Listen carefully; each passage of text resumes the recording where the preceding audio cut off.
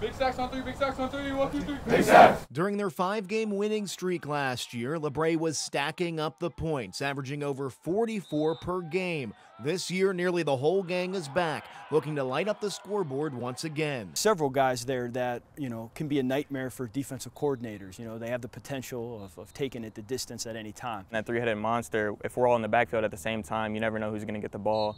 So you just got to watch out for all of us because we can all make big plays. Yale commit and LaBrae quarterback Aiden Stephens leads the triple threat, followed by the Vikings all-time leading rusher in Devin Carter and wideout Trayvon Drake, who had 674 receiving yards and another 239 on the ground in 2020. All those guys can tote the rock and make guys miss and, and break tackles. They can't just key on one of us. They uh, we got all of us that can run the ball. We could also throw the ball too. We got Trey, Ashton, JJ.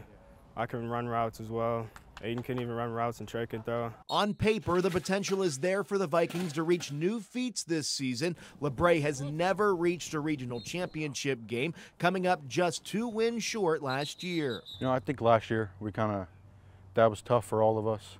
So now we're just trying to bounce back. We'll show everybody how tough we are and how far we can go because I think we're going to make history this year. We've been telling the kids, you know, just because you got guys coming back, you know, and you got some experience and talent, you know, it should make you want to work harder. You know, it should make you more hungry, you know, to achieve and, and, get all the potential you can out of this year. Now, Stephens is no stranger to the Vikings program. His older brother Tyler played for LaBrae a few years ago. In fact, there are several younger brothers on this 2021 Viking squad that aren't only chasing history, but bragging rights from their older brothers. Me and Trey are always talking about our older brothers and how we compare against them. So now it's just it's just fun comparing it against your older brothers. A little bit of bragging rights to you know the 18 team and my brother. So that'd, that'd be amazing. They want to leave their mark. You know, they're interested in, in having bragging rights at the, at the dinner table. In Leavittsburg with the Vikings, I'm Josh Furketic, Sports Team 27.